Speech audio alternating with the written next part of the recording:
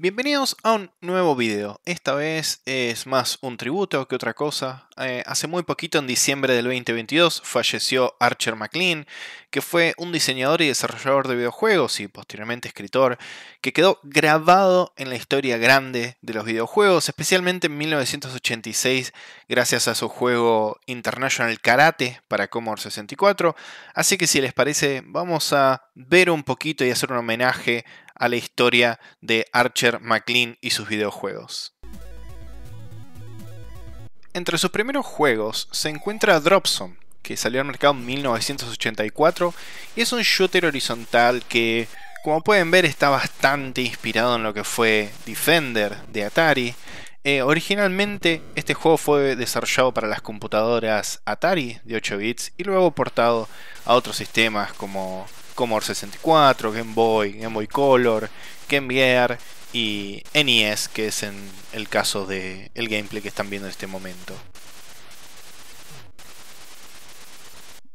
La historia del juego se centra en que en la superficie de la luna de Júpiter IO, eh, una base científica humana está bajo ataque de unos aliens y el jugador con un jetpack, que como pueden ver se puede mover tanto hacia izquierda o hacia derecha en el plano horizontal y verticalmente, eh, tiene que salir a defender la base con sus láseres.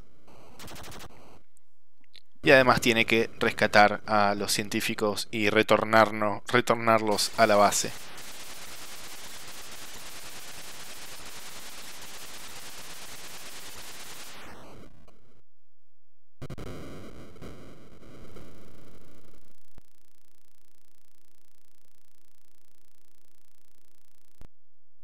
Pero sería con su próximo juego, en 1985, 86 o depende de qué versión estemos hablando, que Archer alcanzaría el reconocimiento internacional, especialmente con International Karate, que en 1986 con la versión de Commodore 64 y International Karate Más o International Karate Plus de 1987 eh, que alcanzaría la fama internacional como diseñador y desarrollador de videojuegos.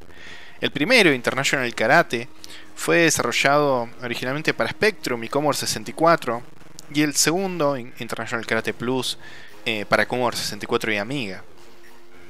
Estos juegos definieron muchos de los aspectos de los juegos de pelea modernos, que si bien se inspiran fuertemente en The Way of the Exploding Fist y Karate Champ, agrega su propio estilo, como por ejemplo eh, la idea de ir compitiendo alrededor del mundo, algo que después veríamos popularizarse con juegos como Street Fighter.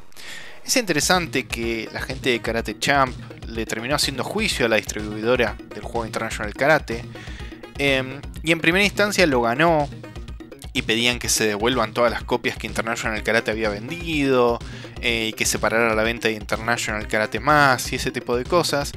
Pero después cuando se apeló a la sentencia, terminaron perdiendo, o sea, ganó la gente que distribuía International Karate, porque los jueces determinaron que no se podía monopolizar eh, un deporte de forma completa, porque los argumentos de International eh, de Karate Champ tenían que ver con cómo están vestidos los personajes, los puntos que se asignan por los golpes, que eran bastante estándar si ya se habían visto decenas y decenas de veces en cualquier eh, juego o película o lo que sea de karate.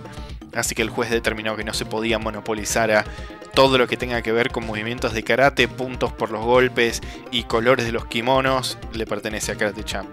Y de todas maneras después también estaba The Way of the Exploding Fist en el medio, así que si hubieran ganado ese juicio hubiera, hubiera habido una cascada de juicios hacia atrás de todos los que habían hecho un juego de karate previamente.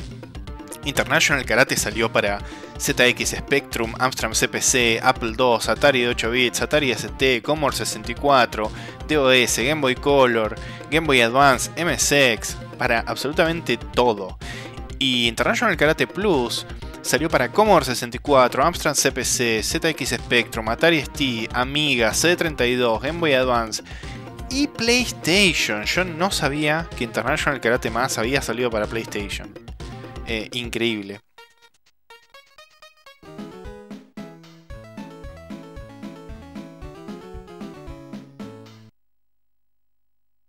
Después de tanta acción y karate, se ve que Archer se cansó un poquito de, ir con el karate alrededor del mundo y tuvo una etapa en donde durante los 90 y hasta principios de los 2000 se dedicó más que nada a juegos de pool y de billar. Desde 1991 con Jimmy's White's Weird Wild Snooker para la Commodore Amiga y otros sistemas, terminando en 2004, ya 15 años, 13 eh, años más tarde, con Pool Paradise, que salió para Windows, PlayStation 2 y GameCube. Les dejo un poco de gameplay de los juegos de pool y billar que salieron para la Commodore Amiga.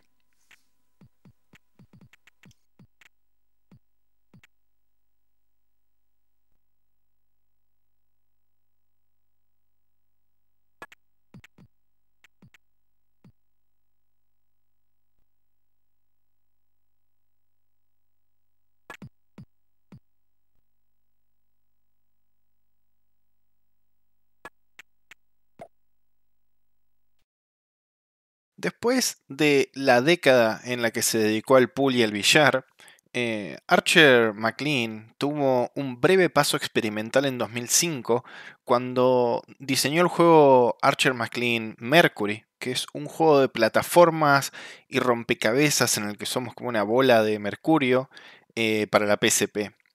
Mm, un juego muy, muy recordado con, con cariño por los jugadores que la tuvieron en la PSP.